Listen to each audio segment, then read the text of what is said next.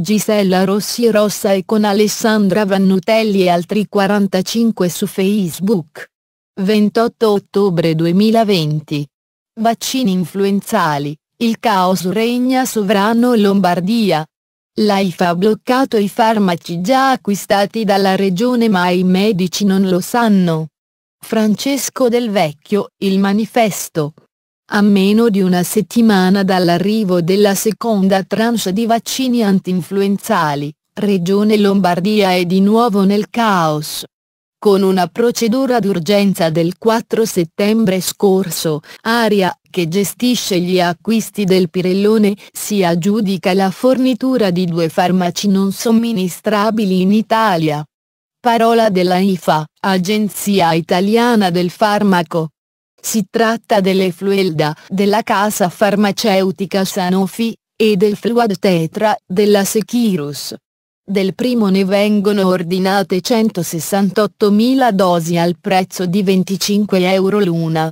Del secondo, il lotto prevede un approvvigionamento di 800.000 unità. Come spiegato dalla IFA, Entrambi i prodotti avevano sì ricevuto l'autorizzazione all'immissione in commercio AIC, codice assegnato ai prodotti che superano le verifiche scientifiche, ma non il permesso per essere inoculati durante la stagione influenzale 2020-2021 poiché non hanno presentato in Italia la procedura di aggiornamento della composizione dei ceppi virali in linea con le raccomandazioni dell'OMS, spiegano dall'AIFA. Il 29 settembre, quindi in un botta e risposta via mail tra Aria e Sanofi, si stabilisce che il vaccino Efluelda venga sostituito con un farmaco equivalente. Ma il vaccino sostitutivo, il Fluzzone Igdose Sanofi, di importazione statunitense, non ha ancora ottenuto l'ok dall'AIFA parte un'altra richiesta di autorizzazione da parte di Aria all'Agenzia del Farmaco che la concede, sotto la responsabilità del medico, il 2 ottobre, con una nota inviata dal proprio ufficio qualità dei prodotti.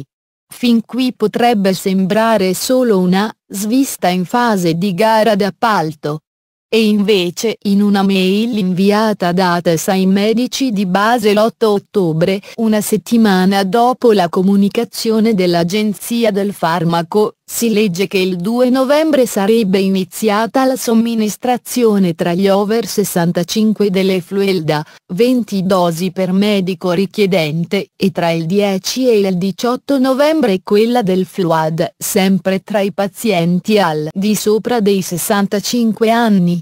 Nessuna comunicazione aggiuntiva ai medici di base fino al 26 ottobre, quando alcuni sanitari della medicina del territorio, ricevono una telefonata con la quale viene annunciata il cambio di rotta, esce Fluelda, entra Fluzzone.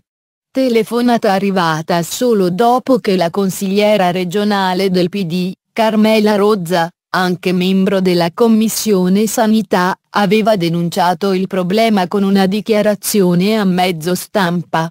La strategia vaccinale della giunta regionale perde un altro pezzo, dopo le dosi già bloccate dalla IFA, era stato il commento della consigliera. I 100.000 vaccini dell'azienda cinese Lifeon, non avevano infatti ricevuto l'autorizzazione dall'azienda per il farmaco, Così, il Pirellone si era trovato a poche settimane dall'inizio della campagna vaccinale con una gara d'appalto conclusa, del valore di 1.199.000 euro, e senza i farmaci necessari. Nonostante, allora come oggi, la Regione abbia assicurato che, non c'è stata perdita economica, resta la disorganizzazione della sanità lombarda bloccata tra bandi annullati e ritardi.